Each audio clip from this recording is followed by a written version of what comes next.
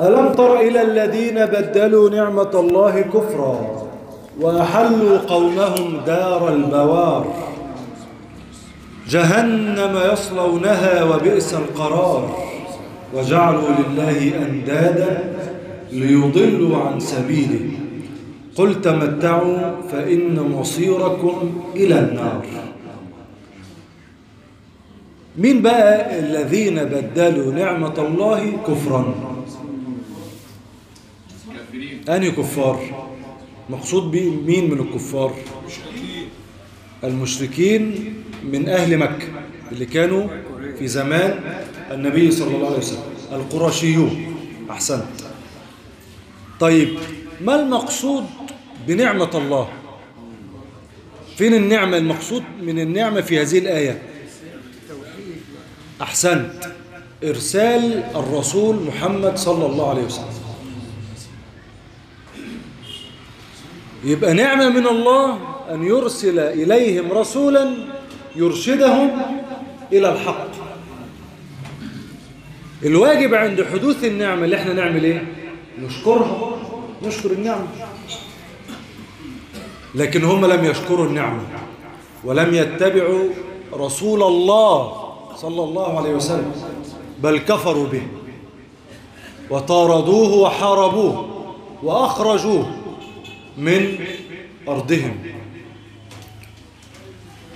ألم تر إلى الذين بدلوا نعمة الله كفرا وبسبب ذلك وأحلوا قومهم دار البوار. يعني البوار؟ الهلاك. بدل ما يشكروا نعمة الله لقد من الله على المؤمنين إذ بعث فيهم رسولا منهم. نعمة من الله. حتى يرشدك إلى طريق الجنة. بيقول لك لو اتبعتنا هتخش الجنة. ولو اتبعتني هتنجو من النار. دي نعمة عظيمة لكنهم للأسف كفروا نعمة الله عز وجل. لما يجي بقى واحد هنا بقى نفهم لما يجي واحد يقول لك هو مش ربنا بيقول وما أرسلناك إلا رحمة للعالمين. نقول له آه. هيقول لك ماشي. هو رحمة للمسلمين هيخشوا الجنة. إنما لو واحد كافر يهودي ولا نصراني يبقى رحمة إزاي؟ ده أنا دخلت جهنم ومش هطلع منها ممكن واحد يبقى غير مسلم يحب يلعب معاك بالإيه؟ بالحجج. ودي مش حجج دي شبهات واهية. يقول لك ربنا قال رحمة للعالمين. ومع ذلك فإن أقواما بسبب دعوته سيدخلون جهنم خالدين. فلما قال الله للعالمين ومن العالمين من تضرر بدعوته ولم يكن ذلك رحمة له. نرد عليه إزاي يا عم سعيد؟ عشان ما امنش عشان ما امنش هو أنا لما أنا أقول لك يا اخوانا الشرابية في راجل خير هيجيب لحمة وهيجيب خضار والناس الفقيرة وكان مثلا في مجاعة مثلا. وتعالوا الساعة 3 والعربية هتكون موجودة وكل واحد هياخد اللي يكفيه وزيادة دي نعمة ولا لأ؟ نعمة من الله أن سخر هذا الرجل للناس. ففي ناس جعانين تعبانين هيموتوا من الجوع وقالوا لا مش عايزين. يبقى هي كانت نعمة لأهل الشربية كلهم ولا لأ؟ بس في ناس إيه؟ أعرضت. يبقى ده ما ينفيش إن هي نعمة. العربية دي والأكل ده كان نعمة للكل ولا لأ؟ كان فاضل بس سيادتك تعمل إيه؟ تنزل وتجيب اللحمة وتاكل. لكن أنت إيه؟ أعرضت عن هذه النعمة. فأنت الذي تسببت في ألا تستفيد من هذه الرحمة التي جعلها الله للعالمين.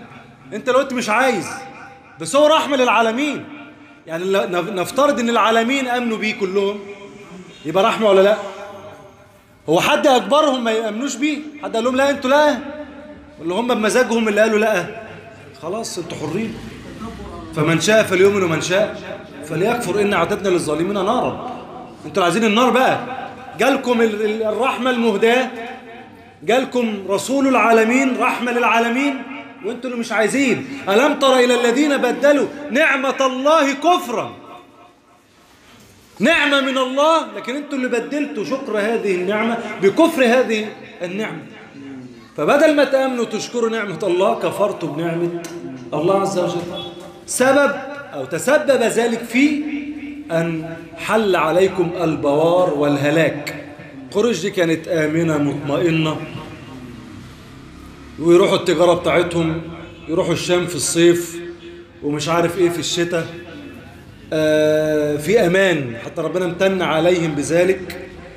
لإلاف قريش إيلافهم رحلة الشتاء والصيف في أمان. فليعبدوا رب هذا البيت الذي أطعمهم من جوع وآمنهم من خوف. البلاد حواليهم الناس قاعدة خايفة لكن قريش آمنة مطمئنة إيه اللي خلى قريش ما تبقاش آمنة ومطمئنة وكل شوية ياخدوا على دماغهم؟ مرة في غزوة بدر ومرة في غزوة الخندق ومرة في الأحزاب ومرة في فتح مكة. هم اللي بدلوا نعمة الله. كفر عادوا رسول الله صلى الله عليه وسلم. أحلوا قومهم دار البوار ولا لا؟ هم لو كانوا آمنوا وعاشوا في سلام مع النبي كانوا هيعيشوا في أمن. في الدنيا وفي نعيم في الآخرة. شوف يا إخوانا ساعات الإنسان مش ساعات إحنا نقول ده ربنا مسلطه على نفسه.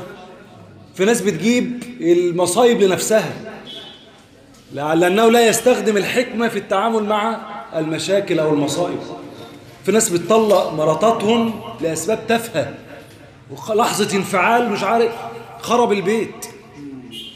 لكن المسلم العاقل الذي يطبق الشرع يستفيد من الحياة الطيبة اللي ربنا مكنها له بتطبيقه لشرع ربنا في حياته. إخواننا الحياة الحقيقية في تطبيقك لشرع الله في كل جزئية من جزئيات حياتك. ساعات أنا لما ألاقي ناس في شقاء وعارف إن هم في شقاء لبعدهم عن الله ساعات أقول لنفسي هم اللي جابوا نفسيهم هم اللي مش عايزين دين هم اللي مش عايزين شرع. هو عايز يتحرك بمزاجه وأهوائه وعاداته وتقاليده. هو اللي أعرض عن دين ربنا. يشيل بقى. هو اللي ما وثقش في دين ربنا إنه دين رحمة ودين حياة طيبة وسعادة. هو افتكر إن السعادة في الفلوس والخناقات ومش عارف والتحديات والسلطة والجاه وعمال يدور عليها وفي سبيل ذلك عمال يخسر ناس ويخسر علاقات. ولما وصل لها وممكن ما يوصل لهاش بس حتى ما وصل لها حاسس بشقاء في قلبه لأنه أعرض عن دين الله. إخوانا إحنا اللي بنجيبه لنفسينا. الكفار لو أمنوا برسول الله لعاشوا في نعيم في الدنيا والآخرة. وماذا عليهم لو آمنوا بالله واليوم الآخر؟ كان هي... هيخسروا إيه؟ الرسول لم يطلب شيء لنفسه. بل لهمش أنا عايز زعامة ولا عايز فلوس ولا عايز جاه عشان يشكوا في أمره. جاب لهم الدلائل والمعجزات والبينات.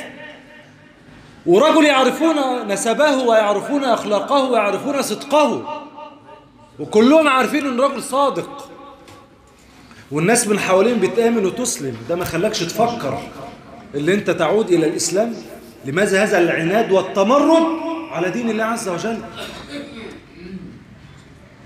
ده ربنا تعجب من الإنسان يستمر على طريق الهلاك ويودي به إلى النار. فقال فما أصبرهم على النار.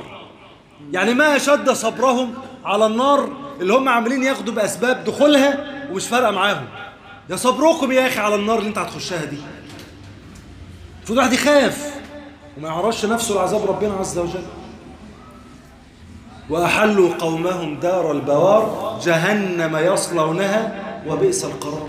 يعني بئس هذا المكان الذي سيستقرون فيه. وجعلوا لله أندادا.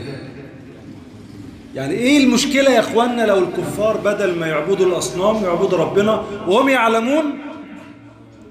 الكارثة بقى إن هم كانوا عارفين أن ربنا خالق السماوات والأرض. يعني حتى مش جاي يقنعهم لسه إن في ربنا وهو اللي خلق. هم عارفين الكلام ده بس التقليد الأعمى دفعهم إلى أن يقلدوا الآباء والأجداد في عبادة الأصنام. ولئن سألتهم من خلق السماوات والأرض؟ لا يقولون الله.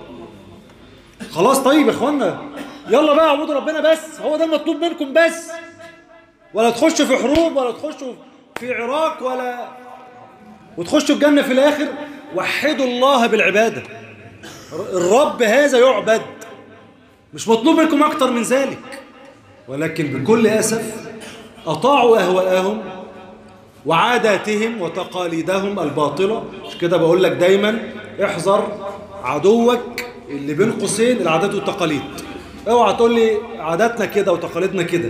دي اللي ده جرت الكفار إلى الكفر. وجعلوا لله أندادا. لم يوحدوا الله في العباده ليضلوا عن سبيله.